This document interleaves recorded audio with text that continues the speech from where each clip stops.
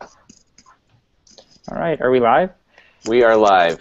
Hello, everyone, and welcome to another Educator Innovator Hangout on Air. Uh, it's Thursday, August 14th, and today we'll be discussing poetry in the 21st century with national student poet uh, Louis Lafair and a host of wonderful guests. Um, I am Paul O, and I'm joining the webinar from the National Writing Project offices in Berkeley, California. Today our guests are, along with Louis, uh, Lisa New, professor of poetry at Harvard University, who uh, just joined us in the nick Hi. of time. Lisa. Jeremy Dean, Chief of Education at Genius.com, and Sarah Kay, founder of Project Voice. Um, but let's let our guests introduce themselves, starting on screen left. Um, so that would be uh, you, Jeremy. Uh, hi, uh, I'm Jeremy Dean. Uh, I'm the Chief of Education at Genius.com. I'm a former classroom teacher, taught high school for seven years, and got a PhD in English, where I also taught at the college level. Uh, lifelong lover of words, literature, poetry, um, and now part of a startup that's really trying to uh, change the way that we read and write in the 21st century. So I'm really honored to be here. Great, thanks, Jeremy. We're honored to have you. Um, Lisa, you're next. Oh, you've jumped, but that's fine. Hi, um, I'm Elisa New. I teach American poetry at Harvard University.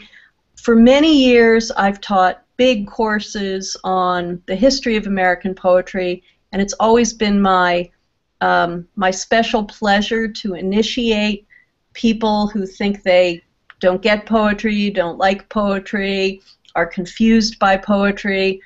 In some ways, the more freaked out they are, the more I the more I like it. I should say from the outset that I am a 19th and early 20th century uh, specialist, and so I have as much to learn from this group and from what they might say about the new face of poetry um, as anybody else. Um, I tend to feel really, really secure with dead poets, and with uh, and with living ones, I'm um, I'm in an absorbing and learning position. Wonderful. Thank you, Lisa. Good to have you here. Uh, Louis, you're next on my left. All right, awesome. So, hey everyone, thanks for joining. My name is Louis Lafair, uh, and so I had the honor this year to serve as, as a 2013 National Student Poet. Uh, and so I'll tell you a little bit more about that later. But I, I just graduated from high school. I'm heading off to college next year in California, and honored to be here. So thank you all for tuning in. Great, and I'll just add that Louis was the one who assembled this uh, star-studded cast, and he's the one who's organized this entire thing. So he's he's being modest uh, as well about his role in this you. webinar. Way to go, Louis. Yes, exactly. It should And, also uh, be said that uh, Louis is a former student of mine, so we, we go a, a way back, uh, you know, as, as teacher and student, and actually I learned quite a bit from him when he was in my classroom, and so uh, it's really great to still be connected to you, Louis. Yeah, we have we have some stories we'll have to tell during this.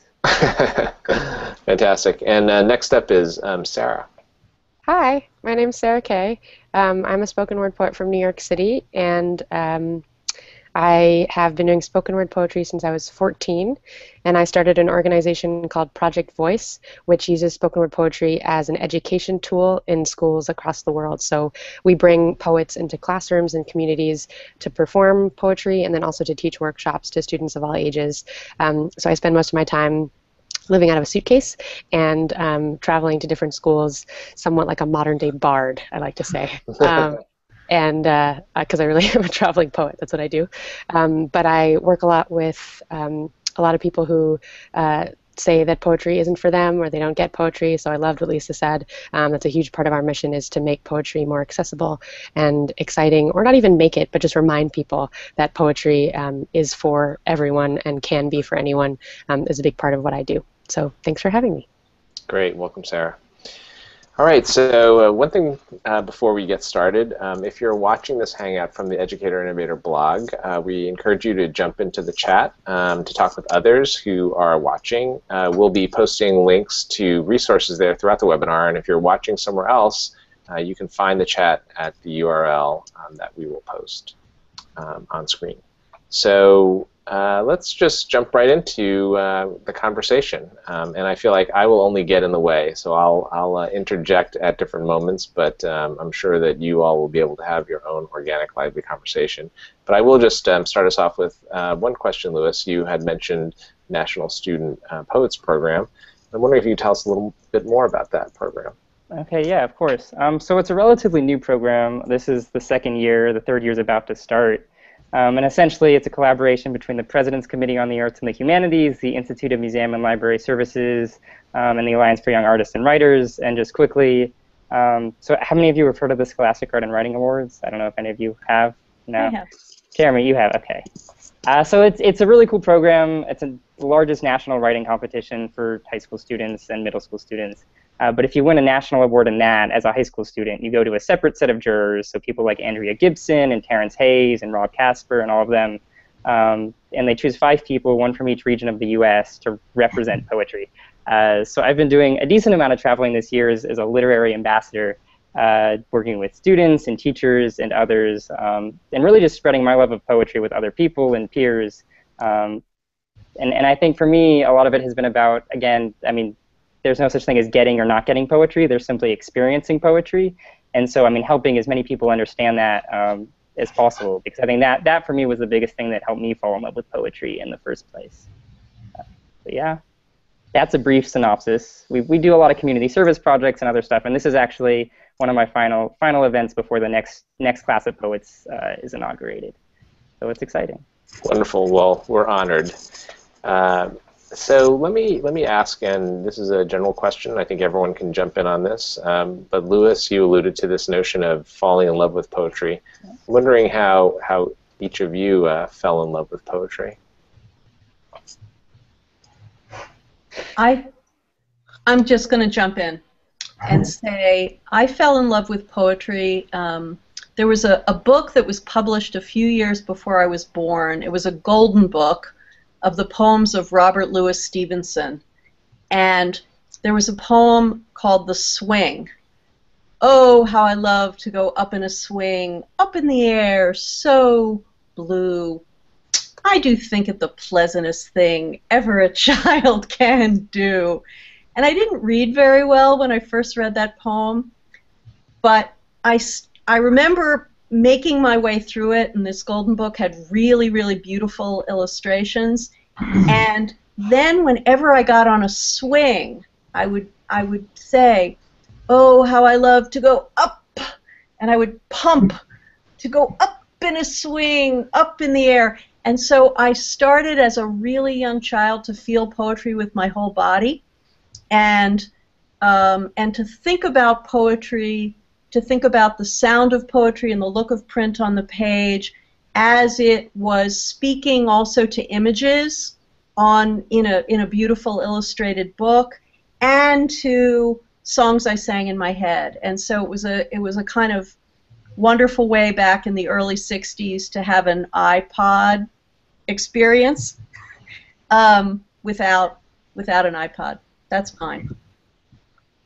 Uh, I'll go next. I, I hadn't uh, thought about this question. I haven't thought about this question before uh, exactly, but um, I certainly first really got exposed to and interested in lyricism through music. Uh, and I say that not because I'm working at a, at a company, at a, at a website that started off with music lyrics, but truly just because that was what we were listening to, and I think I followed uh, music lyrics, you know, pop music lyrics, uh, although I was more interested in alternative sounds into the Norton Anthology of Poetry that we had in our classroom and realizing uh, how close they were and, and, what they what they did for my mind and for my heart uh, as a reader. Um, but I do want to mention one really formative, just in terms of falling in love moment with poetry, which was in, in college. Um, a friend of mine who's a poet, John Coletti, uh, who's a poet in New York, um, gave a reading, uh, just like, a, uh, you know, it was at a, a dorm or something like that on campus, and performed a poem that was about a camping trip that we had taken, he and I and, and another friend of ours in college.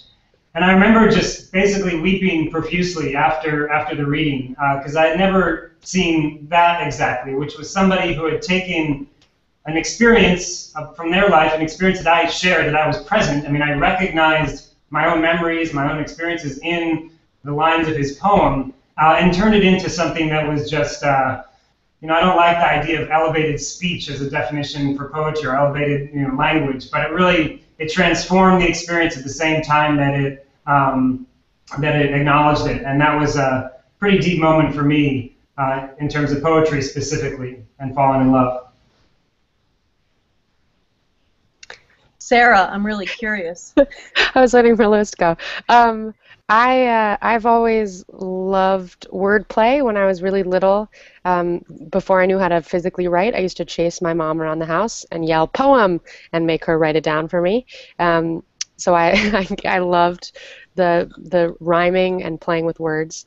Um, and when I was growing up, from kindergarten through fourth grade, my parents um, every day would pack me lunch for school, and they would either one of them would write a little poem on a piece of paper and fold it in half and put it in my lunchbox.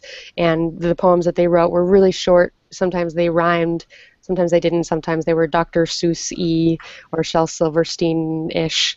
Um, but they were always in my lunchbox. And so every single day of my school years from kindergarten through fourth grade, my lunch consisted of like waiting for my poem and opening it and finding it. So it was this combination of something I expected, something that was a surprise, something that was a ritual, something mm-hmm. that um, I returned to every day, something that connected me to my parents, um, something that made me smile or made me think. Um, even before I knew that it was poetry, it was just like the notes that my parents would send me. Um, but so that instilled a, a, great love of, of words and play and rhyme pretty early. And then um, I didn't have anything to do with performance uh, at all until I was 14 and I got accidentally signed up for a teen poetry slam.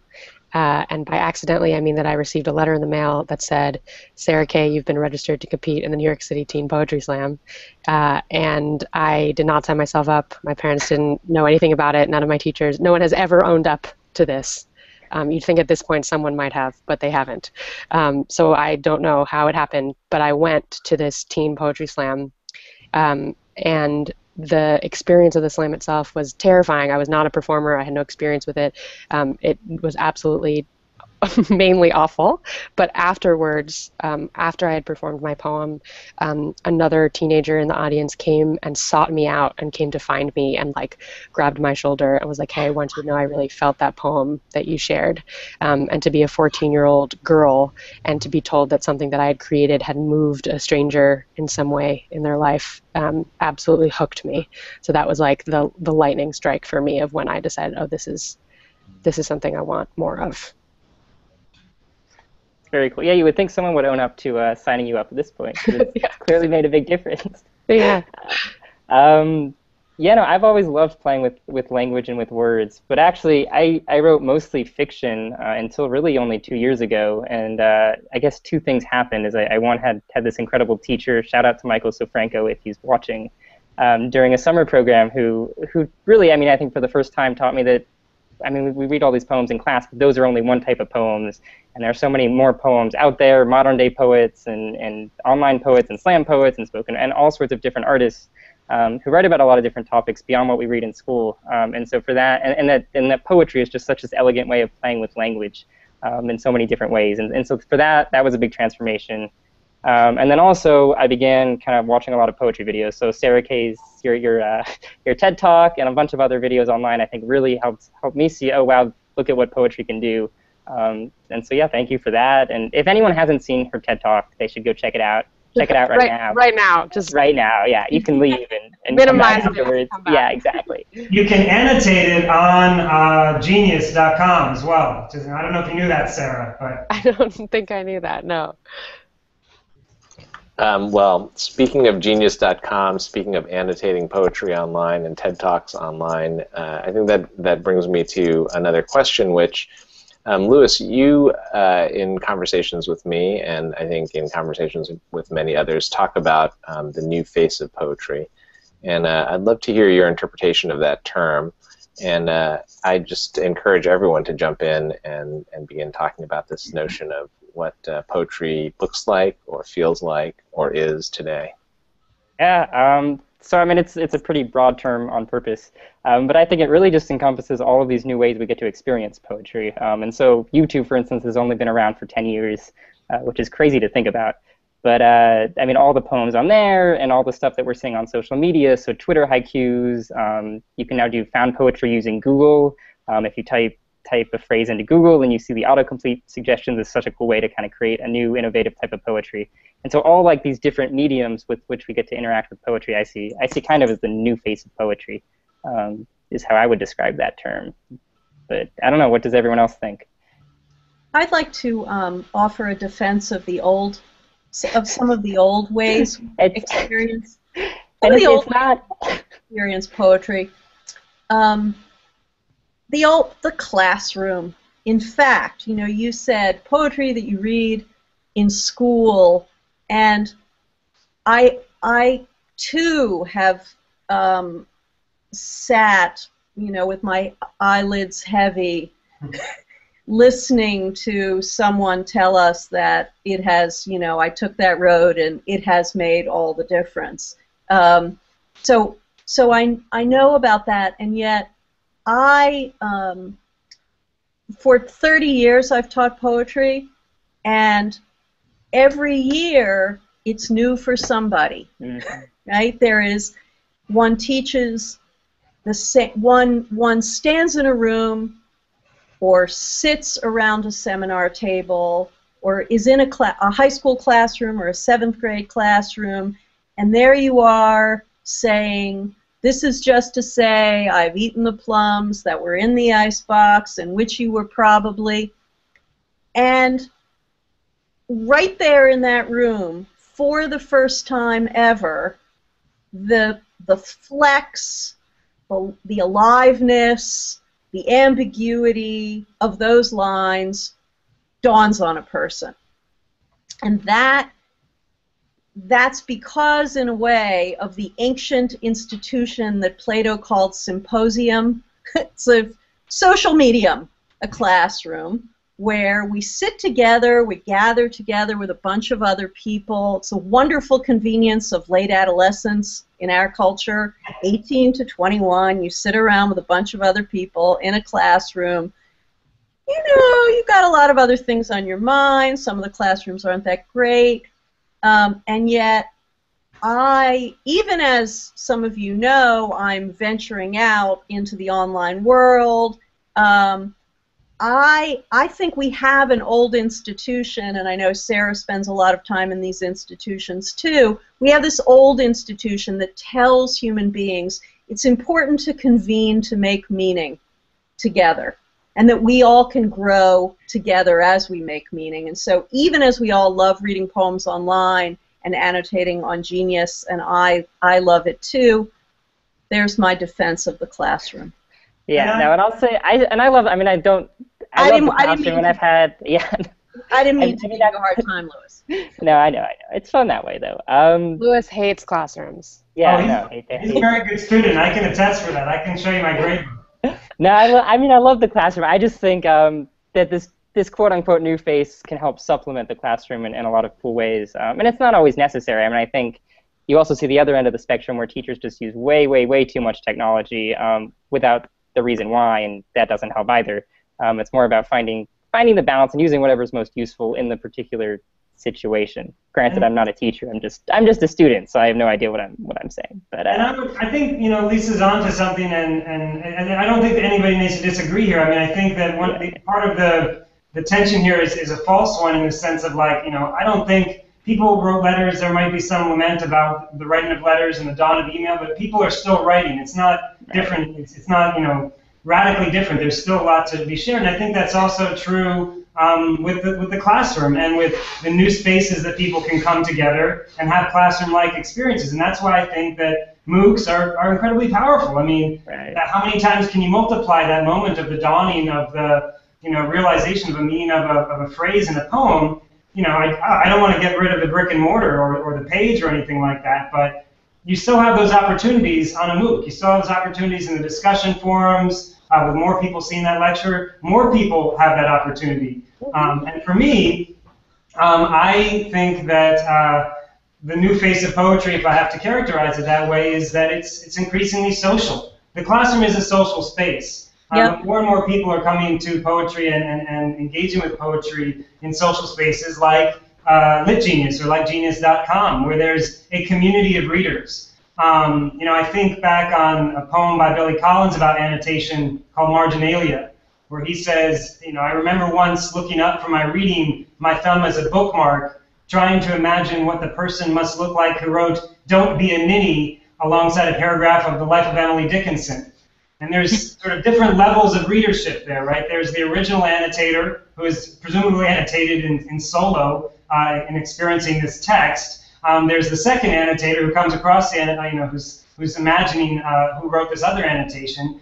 And I think that, you know, Genius.com and LitGenius allow those two people uh, to meet um, and allow multiple, you know, allow groups of people to come together and read uh, in community and help each other have uh, that you know that mo- that dawning moment that uh, Lisa described. So for me, coming from from Lit Genius, uh, it's the idea of reading in community, of the social experience of the poem, which um, I do think, especially when you add some gamification and some uh, the sleekness of it of a social network to it, um, can allow more people to gain access to that moment. Um, because the classroom experience is one that um, probably everybody on this hangout did really well in um, and you know was was there for that moment. Um, but I don't know that everybody gets to have that moment in, in the way that uh, classrooms are set up uh, or the ways that different people learn. Um, and so I think that there are powerful new ways to extend the kind of experience that one has in a classroom um, beyond a physical space uh, and across, you know, lots of different types of, uh, of people. I have sort of a question for Sarah who called herself a bard, and that seems to me completely accurate. But I mean, is is a bard a new way of presenting poetry to be a bard, or an old or an old way? No, I mean it's a it's a, purposeful tribute, uh, uh, and I ah. I would say when I when I when I get stuck in conversations like this, um, I'm always on one side of the uh, one side or the other of the same argument. So either I'm in a group of um, older people and they go, "Oh, spoken word poetry, that's that like young hip hop rap stuff we don't like that. And I have to go, no, no, no, no, no. Uh, spoken word poetry is one of the most ancient art forms we have. Shakespeare was spoken word poetry, and Homer is spoken word poetry, and West African griots are speaking West, you know, are speaking spoken word poetry. And um, I have to say, like, no, this this is not a, a new phenomenon. It is an old one. Um, or I'm in a classroom of young people, and they're like, man, poetry is old, dead white guys and I have to go, no, no, no, wait. but spoken poetry is also young and new and current and hip hop and and you know and and singer songwriters and um, so there's no right answer to it and there doesn't have to be. And a lot of times um, I have to you know make sure I say that it's not about page versus stage, um, and likewise I don't think it's about analog versus digital. Um, I'm not really interested how people fall in love with poetry, as long as they do fall in love with poetry, um, or as long as they have the opportunity to fall in love with poetry. And I think that's what Jeremy was talking about: is getting as many people access and opportunity to it as possible. So a lot of times I talk about spoken word poetry not as like the answer to literature, but rather like um, what I use it as uh, as like a gateway drug to falling in love with literature literature at all. Um, and I've been in a lot of classrooms where people struggle with traditional forms of literacy, like reading and writing. And if you're a kid who's been um, you know, who has internalized the idea that I'm not good at reading or I'm not good at writing, the more you push on that, the less, you know, the more mm-hmm. resistance a student has. And one of the nice things about that I found with spoken word poetry is it sort of, you know, it, it goes around that and it says, okay, cool, you don't like reading and writing, fine, not a problem. I don't need to look at the page at all. I want you to tell me a story. I want you to use your words to create language that you allows you to communicate something that you care about. And so when someone is able to do that, it creates the potential for a very empowering moment where they can go like, "Oh, wait a second, I actually have control over language in a way that I maybe previously didn't feel like I had it. And then all of a sudden, language becomes something that is a tool to them as opposed to a inhibition. It's okay. So that's that's that's how I feel about it. that, right. Yeah, no, I love that description of it all. That's it's a great way of looking at it. Um, I mean, quickly for anyone who isn't viewing, I mean, I think all of us here use different methods for trying to give as many people as much opportunity to fall in love with poetry as possible. I think it might be helpful if just quickly you guys describe Project Voice and Poetry in America, the MOOC slash potentially TV show, um, and Genius.com, just to give people a, a, brief sense of, of the different things you're doing, because um, they're all fascinating in their own ways.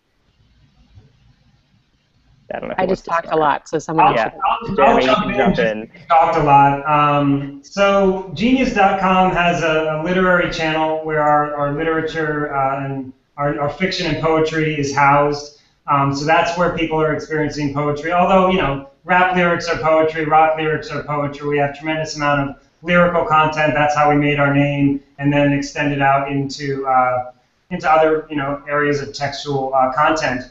But you know, Genius.com is an annotation platform. Um, it is a way to annotate text uh, collaboratively um, and through all the multimedia tools that writing and reading online uh, allow. Um, and so I think the, the number one amazing thing about uh, Lit Genius, uh, which actually used to be called Poetry Genius, um, uh, is that it's a community uh, of readers. it's a community of people that come together and are annotating their favorite works sometimes uh, in isolation, you know, maybe there's the one, um, you know, I'm trying to think of somebody super old school. Uh, since I was just looking at some of Lisa's curriculum, uh, Wigglesworth. I really like that name from your uh, current syllabus. You know, maybe there's the one Wigglesworth scholar on, Gene, on Lit Genius annotating some Puritan or New England poetry. Um, but then there's a lot of people, you know, piling on on on more contemporary popular work. Lots of people finding each other um, in the you know digital pages of Whitman. Um, we have uh, you know discussion forums on the site. We have social media like Twitter uh, and Facebook where people are sort of seeing what's going on. And every day of the week, we have a text of the day that we announce through our social media and on the front page of Lit Genius. And so all the folks on the site that are getting those messages, that are paying attention, uh, you know, converge on a single text every day. So yesterday we were all working on uh, a series of Elizabeth Bishop poems. We, took, we decided this week was Water Week. And so everything is water themed. And so we were all working on three Elizabeth Bishop poems, and we're all, you know, several dozen uh, sort of rogue literary scholars around the internet and different places around the world um, coming together and thinking through uh, poetry in community. Um, and that's the vision. Uh, that's the beginning of the vision. And the vision ultimately is to have the authors involved in that conversation, uh, annotating their own work, responding to their fans, responding to their readers, having experts, uh, uh, scholars like, like Lisa involved, annotating text uh, and responding to a larger, you know, classroom, quote unquote classroom of, uh, of people that are interested in learning more about poetry. Um, so it's an annotation platform, but it's really a community of uh, rogue scholars, as I said, coming together and helping each other appreciate, helping each other understand uh, difficult and beautiful text. Should I jump in?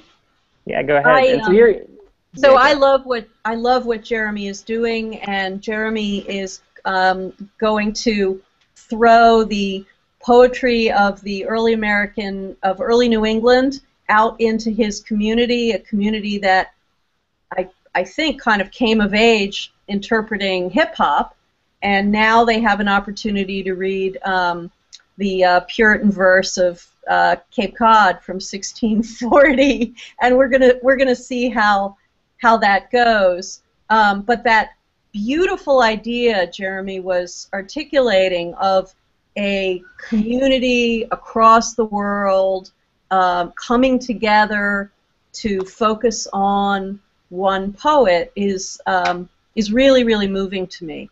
Um, what I've been doing uh, over the last few years is walking my way out of the classroom and into what we're all starting, I guess, to call here a bigger, a bigger classroom.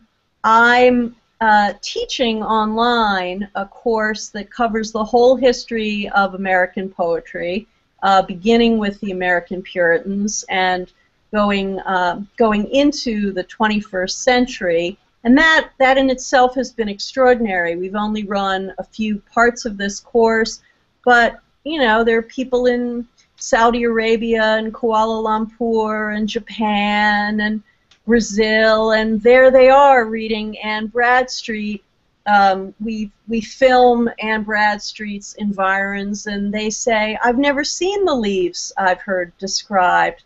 Uh, you know, the leaves of autumn, and so it's been amazing for me to be able to use um, to use video uh, in order to um, make the experience of readers around the world uh, that much more rich. What what's also happened uh, as I've as I began teaching this course is I started to think, well, how can I draw more and more people in? Yes, I can convene little seminars of my students and we can film that. Um, yes, I can go to the Song of Myself marathon under the Brooklyn Bridge and listen to those readers and then bring particularly um, interesting ones out into the trees, and we can have little little spontaneous seminars where we read a few lines of Whitman together. What if I go out into the world and begin to invite people who may or may not like poetry, but who may, but who are probably well known to others? What if I have conversations on camera with TV anchors and famous basketball players and presidents and actors. And I started to do that. And what I've discovered is that Katie Couric loves Elizabeth Bishop and cherishes lines of Elizabeth Bishop and has extraordinary things to teach me about how to read Elizabeth Bishop. What I've discovered is that Bill Clinton really cares about Langston Hughes and has insights into Langston Hughes that are very much like the insights of seventh graders who um, study in the Harlem Children's Zone. Um, what I've learned is that even though Justice Elena Kagan says she doesn't like poetry, um, she and I, uh, and probably any uh, attorney and any scholar of poetry can absolutely understand each other since allusion and precedent are in some profound way analogous and the same. So what I've been doing uh, is uh, having conversations that uh, are now developing into a uh, into a TV series. It seems I've been having conversations with extraordinary people we might not associate with poetry, and also drawing poets into those practicing poets into those conversations, and all sorts of citizens into those conversations, um, as a way to uh, to to show this larger this larger classroom of which we are all a part that language is what we all share that we all do in fact have access to it that a poem is not a mysterious and opaque set of symbols we uh, it's not our enemy uh, it's not a surface under which we, we if we battle through in order to get to a depth. It's instead, as just as Louis said, um, an experience, a, uh, a, a, an arrangement of words that will affect readers, often in similar ways, uh, often in ways that will allow their their differences and just the ambiguity and instability of, uh, of human experience to, um, to help them to sort out. So, so I've been part of a, a kind of great adventure in bringing more and more readers together uh, in a, on film. Uh, and uh, it's been really amazing. It's been really amazing. All right. Sarah, I think your turn now. Oh, is it my turn? You didn't have something that you wanted to share about? You can, uh, sure. I'll go. I mean, I can go quickly. Um, all right. So, well, through the National Student Poets Program, I've been working a lot um, with teachers and other students. Um, I'm actually leaving for Arizona tomorrow, and then a bunch of other events. Just really talking to them and working with them, and um, doing a bunch of different workshops. Um, but in specific to this webinar in particular, I just launched a website called poetry2.0.com uh, that essentially just compiles all of these new ways to experience experience poetry. So stuff like Genius.com and MOOCs and Project Voice, um, and it sticks them all on a page, along with a bunch of my favorite poems um, and a bunch of other kind of things that I just I really enjoy. Um, because all this stuff is out there, and, and what I found is that very few people know about all of it. So I mean, there, there is everything from um, I don't know if you've seen, but a scientist embedded a poem into a into a gene, which is completely irrelevant and doesn't affect classrooms at all into into the gene of a bacterium. So like all oh. sorts of crazy random things are happening with poetry. Um, not that anyone would ever use that fact in a classroom, but I think it's interesting how different poets um, are reacting to today's society. Um, one of the cool things there's there's a game called Bot or Not where um, botpoet.com I think um, where a you, you get a poem and you have to guess whether a human or a robot wrote it, and it's actually a lot harder than you would think because there's some really I mean, human-sounding robot poems and some really strange-sounding human poems. Uh, and so there are a lot of like really fun, random activities like that that I just think are really cool and exciting. Um, and so poetry2.0.com just compiles all of those. Um, so it just launched today, so that's exciting. Thank that's you, Louis, for that. Congratulations. All of yeah. us. All right. Um, that's awesome. Do you know, uh, just out of curiosity, do you know the poet Reeves? And do you know that yes, for a while? Yes, I love him. I actually met him. Um, he's on the site too, um, oh. and I just I met him I think last year um, at a was, TEDx he, event actually. He was like coin. I don't know who coined it, but the first. The first 2.0 poet. Yeah, yeah, exactly. Um, I'm sending a link to him probably tomorrow. Uh, but yeah, he's he's an awesome guy. He's cool. he does a lot of fascinating things with that. Right. Thanks for right. thanks for bringing him up. sure. Um, so, what am I supposed to talk about? Pro- what Project Voice is? Project Voice, yeah. You do a so lot Project, of cool things too.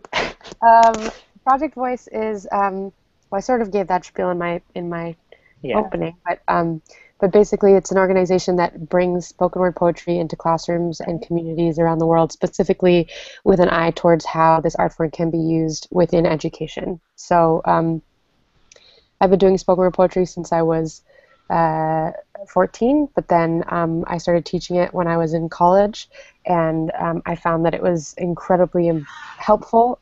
Um, but I was doing all after school workshops, and I went back to grad school um, to get my master's degree in the art of teaching. Um, and I, all of the research I could find on spoken word poetry in education was all like, oh yeah, this is a really cute extracurricular that kids can do after school if they want to, or like, yeah, start a club, that's fun. Um, and I was really genuinely convinced that there's more to it that, that than that. That, like I said, you can use spoken word poetry as a gateway drug to loving literature in general, and also just as an actual um, a, just a, a, different form through which you can teach a lot of other things that you would also teach through any other um, forms as well, and that it can be very useful to a lot of educators. So I spent a lot of time researching and doing a lot of work on how we can use spoken word poetry in a traditional classroom. And so a lot of my work is how can we use this art form to be helpful to teachers and students to kind of innovate the curriculum that we're trying to teach and make it more accessible to a lot of people and et cetera, et cetera, et cetera.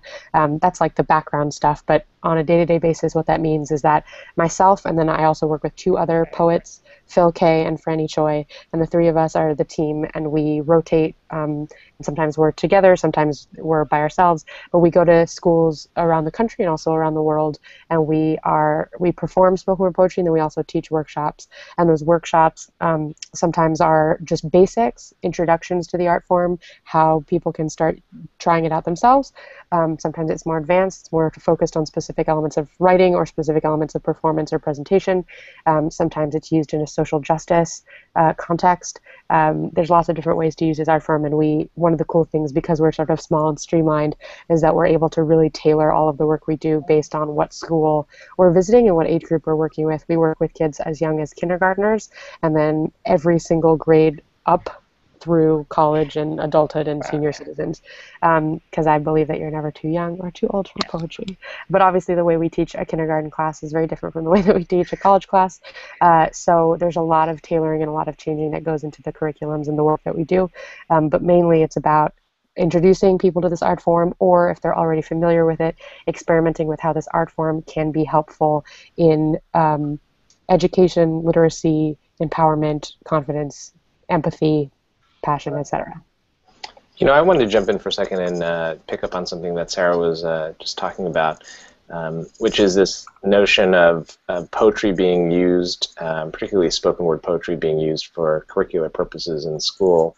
Um, it reminds me of a project that I heard about recently uh, called the Off Page Project, in which uh, Youth Speaks, a, a spoken word group uh, based in the Bay Area, has teamed up with the Center for Investigative Reporting um, to essentially give young people this opportunity to uh, to write poetry about the issues that matter to them, but based um, as well or infused with um, or related to um, research that the Center for Investigative Reporting has done um, about those particular issues in their community. It's this uh, you know it's this amazing um, project I think, and uh, and when you talked to Sarah about the fact that uh, there has been this attitude about poetry that it's something that is perhaps uh, you know a, a, curricular extra versus something that you know perhaps is um, fundamental in terms of thinking about well, what does it mean to um, you know to teach uh, what does it mean to learn um, what does it mean to be part of a, a you know community um, a literary community um, or even in terms of you know issues of social justice I wonder if uh, people could speak to that at all um, as educators uh, uh, or at least Louis as someone who has been educated as well. Um, because I think I think that that's that's an issue that uh, I think comes up particularly these days in the way in which um, I, I, don't know how familiar you all are with you know, the Common Core curriculum, which um, tends for many educators to be a signal that you know they should move away from the creative art forms in terms of their educational spaces.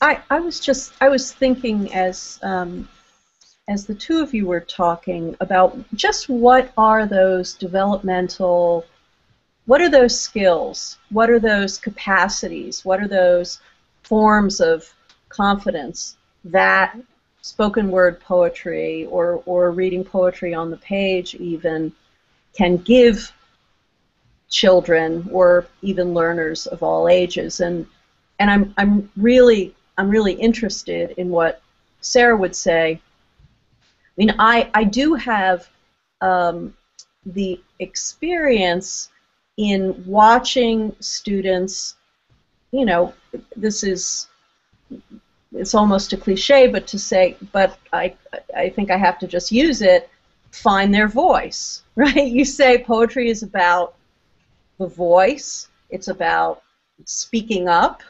Um, sometimes I think speaking absolutely in one's own voice without the um, w- without the the the separation from the self that a that a form like poetry affords is harder. I mean, I, I, I wonder, and you might say I, I, I expect there could be pushback, but I, I wonder if saying speak your truth speak your inner self in a poem, does that give a person more freedom, right? That that this isn't this isn't just me speaking myself unmediated, cold. This is this is me performing in a in a in a genre that already exists. And while you while you mull that, I'll I'll just say that um, for me, uh, talking with other human beings about poetry is um, it's it's such a privilege to watch people find their their own analytic, their own intellectual perspective, their own personality, their own style, their own stamp. And there's something, you know, sort of like if you're going to go on a date, it's good to do something with another person instead of just talk about what your job is, go to a museum, go to a concert, go have an have an object between you. And I guess both of my questions orient us away from just poetry as it allows us to speak our, our very own inner self. Does that does that make sense to any of you? Yeah, I mean, I'll just jump in quickly. Um, so, I mean, to an extent, yeah, it is about finding your own voice and expressing yourself and, and figuring out um, what you are trying to say. Um, I think poetry helps me work through a lot of issues. It, with all the other poets I've talked to, it helps them work through their own issues. Um, so that is a large part of poetry. But then I also think that it is much about empathy and stories and kind of getting a sense for everyone else. And I think what's so uh, beautiful about poetry is, is that you get to hear all of these stories in, in a pretty short amount of time from so many different people um, and really experience that and realize that, that no human has a single story, um, that we're made up of lots of different backgrounds and experiences and, uh, and trying to get those out there. Um, I think is I think that to me is, is what poetry helps with. And, and we were talking about skills. I mean, I think definitely empathy, um, confidence, I mean, with spoken word poetry in particular, um, this year I presented at a lot, lot more events than I had in the past, and I mean now I'll go anywhere. We in our at our last we were in Aspen with you at the Aspen Ideas Festival, um, and we did quote unquote flash mob poetry in front of a random set of people on a on a street corner. Um, would have never done that before, but if you look at kind of the way spoken word poetry helps people realize that yes, their voice is important and their stories are important, um, and they're worth sharing. Um, and it's worth listening to other people's stories too. Mm-hmm. I don't know, Sarah. What, you, what would you? it's a lot of random things integrated into that, but. Uh, yeah, I mean the way that we, the way that I was always taught, and the way that I think about teaching poetry is that it's always it's equally important to speak as it is to listen. Is the right. way that we talk about it. So there's a lot of people who um, are more comfortable listening and would just rather other people speak for them and we try to remind them that if you don't tell your story someone else is going to try to do it and they won't do it the way you could and the way in you know in the words that you should use could use and you know have the ability to tell it your way. And then there are other people who love to hear themselves talk and don't want to listen to anybody. And they have to be reminded that like no there are other perspectives and other points of view and uh, like like you're saying that that um, learning empathy and learning how to bear witness and learning how to just shut up and listen is an absolute skill set that we expect grown-ups to be able to do in this world but also like never actually teach um, concretely, right? Like you don't have a listening class in school. You just mm-hmm. hope that someone will eventually get it. And so one of the things that I talk a lot about is that I teach spoken word poetry, yes, and it's from a deep love of poetry for me, but also I'm not teaching it because I'm trying to create an army of poets. Uh, that's not my focus per se, although that would be awesome, sure. Um, but it's because I think that there are a lot of opportunities through this art form that I found to teach a lot of other life skills that I think we could all agree are really important, but are perhaps being left out of a lot of education uh, spaces because of harsh, strict curriculum limitations and requirements, et cetera, et cetera. Um, and teachers have a lot to deal with, you know, and, and they can't always tackle minutia details the way that they even would like to. Um, so this allows me to do things like make uh, make empathy a habit or or at least a ritual, you know, and and community and have how to be a member of a community, how to use your critical thinking skills, how to take a text and analyze it, how to read subtext, how to understand metaphor, you know, all of these things.